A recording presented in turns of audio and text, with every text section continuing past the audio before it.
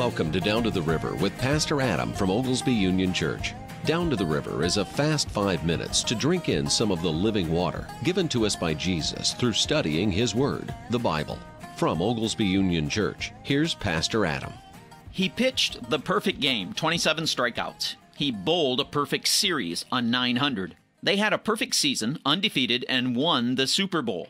Their horse won the Triple Crown, the Preakness, the Belmont, and the Kentucky Derby. He never lost a boxing match. We even have perfection in the church. We used to give out pins to those who had perfect attendance, never missing a Sunday in a whole year, 52 in a row. And we even stress the memorization of Scripture to say it perfectly without missing a word.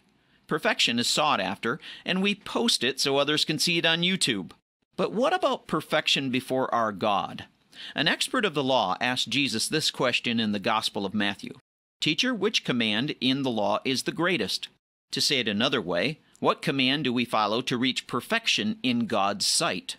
Jesus said to him, Love the Lord your God with all your heart, and with all your soul, and with all your mind. This is the greatest and most important command, and the second is like it love your neighbor as yourself. All the law and the prophets depend on these two commands.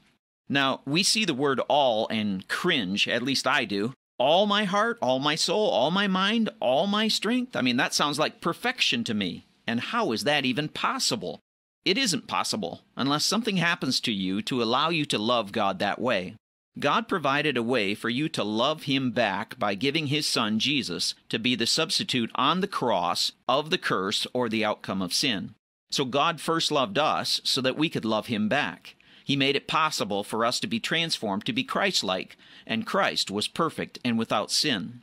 Listen to this statement what God forbids should never be done, and what God commands should always be done. Again, there's a lot of perfection in that sentence with the words never be and always be. But, Pastor Adam, you say, I fall and fail, and I have to come back many times and say, I'm sorry and please forgive me. Yeah, I know, I do too. In the sense of perfection, of never falling from following God's law perfectly, I'm a failure, time and time again. But it is not following God's law that saves us. That would be doing something to earn salvation.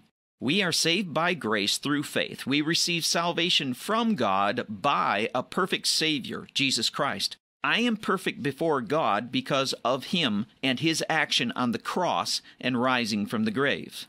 So, back to our question how do I love God with all my heart, soul, mind, and strength? I do that perfectly by acknowledging my need of Him and to live for Him each and every day. There is not a day that I don't need Him. There is not a time when His words and ways don't apply to me. There is a living, even when I fail and fall, that I rise back up still in His hands. I say, I'm sorry, and please forgive me to my neighbor that I'm attempting to love as myself because of my relationship with God and how much I love Him. I can only be perfect spiritually because of the one who is perfect made it so. And I get to live out that saved life, loving God and others. A look ahead is at our annual Oglesby Union Church summer picnic on Sunday, August 27th. That's the last Sunday in August, and we'll be at the Lehigh Park in Oglesby.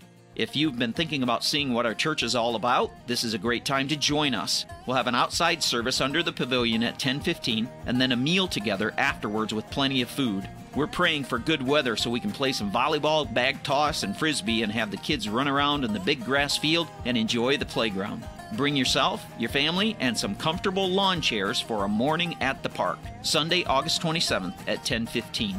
Again, I'm Pastor Adam, and I invite you to join us this morning at 1015 at the Oglesby Union Church for another message from God's Word, the Bible. Visit our website at ouc.life, and may you receive the blessings of God as you live your life to the glory of Him. Join Pastor Adam this morning at Oglesby Union Church. They're right next to City Hall on Walnut Street, and their Sunday morning worship service starts at 1015. Oglesby Union Church's mission is to know Jesus, grow in Him, go where He leads, and show His love. Drink more of the living water from Jesus today at Oglesby Union Church and go down to the river again next Sunday morning at 825 on Classic Hits 1039 WLPL.